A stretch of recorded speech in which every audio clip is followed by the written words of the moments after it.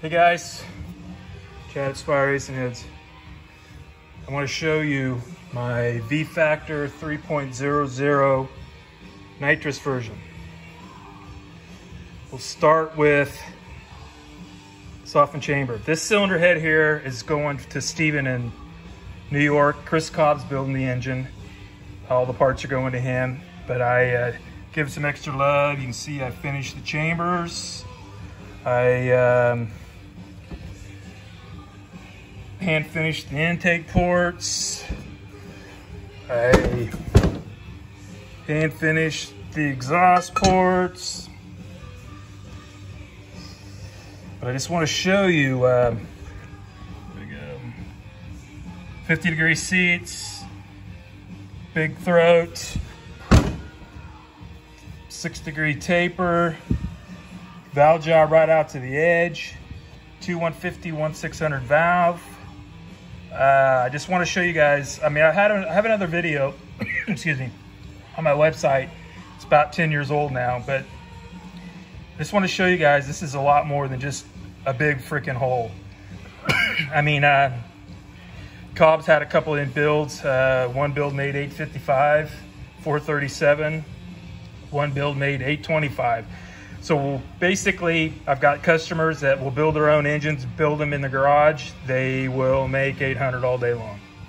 Uh, this thing's ran uh, 480 with a fogger at right at 3,100 pounds. Uh, had a 434 on a chassis dyno with a fogger. Made 1,040 to the tire. It's ran 920 NA at 3,200. It's ran 560 NA at 3,200. Got these on some Sega uh, old school front axle killer cool cars. They made 2.18 horsepower cubic inch. Uh, it's not just a big hole. It works. It, it works. Um, you can see here. Let me give you. Uh, I love I love short sides. There's a short side, big and wide. See the little bit wing there tipping out. Um, let me get you a close-up picture here. Hand finished. Got the floor vane. It's just for looks. That's all it does. It's nice and pretty. Um, valve job, 40. It's got a 40 degree top cut. You can see how it just blends right into the chamber. Uh, here's the rockers for it. Um, 550 intake, 80 exhaust. Uh, this particular set here, uh, I didn't have any more castings that didn't have any push rod relief, so we had to have them welded up. Uh, but it'll be just fine. Uh, we talk about flow numbers. I'll take you over to the bench here in a second and show you how much they flow. Uh, but again, I just want to show you, it's, it's just not a big hole. Put a lot of time in it.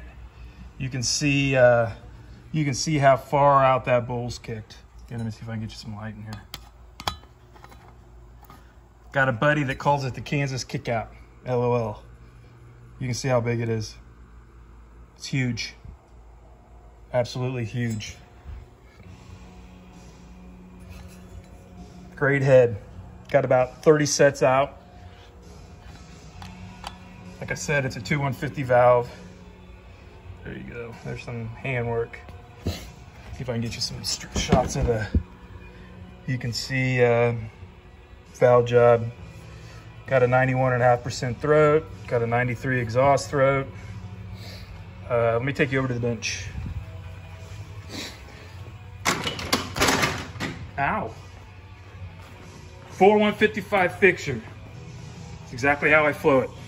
I put a head bolt, I don't put a sleeve in it. Billet plate. 200 to one inch. It moves some air. Straight up, true, 23 degree. Not a 21, not a 22 straight up old school 23. 23 degree is alive and well, kicking ass at SRH. Got a full line, most of you guys know that. Same casting, 205, 227, 250, 265, getting ready to come out with the 275 port. dedicated small bores, 4060 wide, big bores, 41, 4140, 4145 wide. Put a lot of time in them. Dedicated casting, again, I don't know if you can see it. SRH, doesn't have that on it. It didn't come from this shop. Great cylinder head. Profiler does a great job.